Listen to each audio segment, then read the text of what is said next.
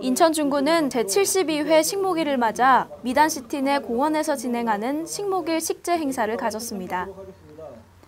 이날 식목 행사는 범주민 나무 심기 분위기 조성을 위해 중구 구민들을 비롯해 관련 공무원 등 약 150여 명이 참여했는데요. 나무 식재 요령에 대한 설명을 듣고 공원 내 스트로브 잣나무를 비롯해 6종 1,700그루의 나무를 심었습니다. 중국 관계자는 이번 행사를 통해 봄철 식목 분위기 조성에 기여하는 소중한 계기가 될 것이라 말했습니다. 영종도에 위치한 미단시티는 복합 리조트로 2020년까지 총 8천억 원을 투자해 외국인 전용 카지노와 호텔, 컨벤션 시설 등을 조성할 계획입니다.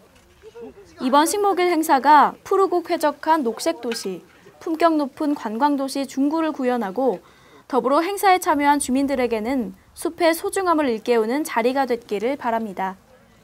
인천 중구TV 뉴스 이하경입니다.